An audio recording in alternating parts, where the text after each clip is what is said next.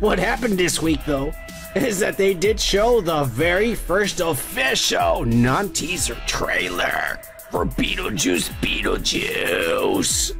With Jenny Ortega and a bunch of Willem Dafoe is in this, Danny DeVito. I'm actually looking forward to this. I was scared that it was gonna be too woke. There was gonna be all these fat people with fucking glasses and purple hair and shit and lesbian haircuts. Because that's what I saw in the pictures that I showed you all from behind the scenes. But I guess that's the crew they hire nowadays. You gotta hire diversity. Fuck it. I'll be honest with you, if we ever make it, I'm gonna hire a bunch of lesbians, gays, and motherfucking blacks up in his bitch.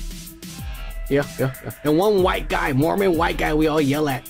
Hey, where's our coffee? But I'm the producer. Why, you also get us coffee, bitch.